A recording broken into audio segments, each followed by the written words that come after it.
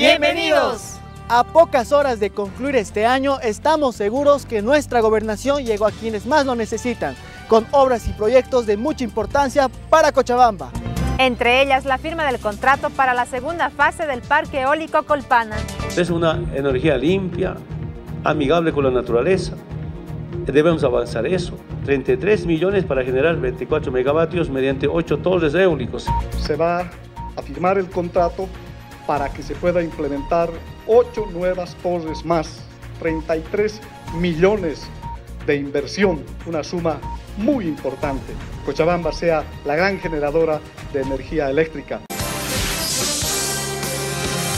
Para el beneficio de más de 200 alumnos, la Gobernación de Cochabamba entregó la construcción de 10 aulas a la unidad educativa Talcopampa en el municipio de Omereque.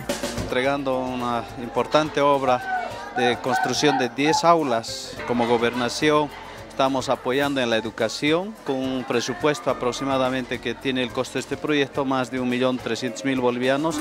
Y un agradecimiento especial a nuestro gobernador. Ellos han puesto todo el esfuerzo para que esto se haga realidad.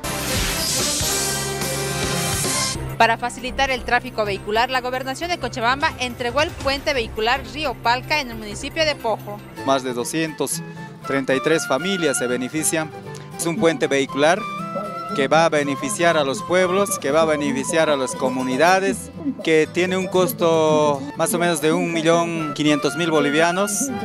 Agradecemos ¿no? a nuestras autoridades, hablando de nuestro gobernador que nos ha financiado la plata ¿no? para este puente vehicular de Palca.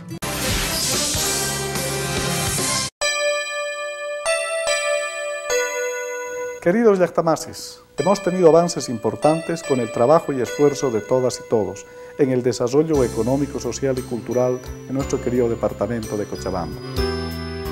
El pueblo en su conjunto está comprometido en esta revolución democrática y cultural para construir la yacta que queremos.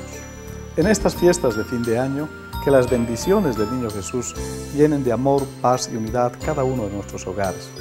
Para el nuevo año que se aproxima, les expreso mis más sinceros deseos de bienestar, trabajo, éxito y prosperidad. Felices fiestas, familia cochabambina.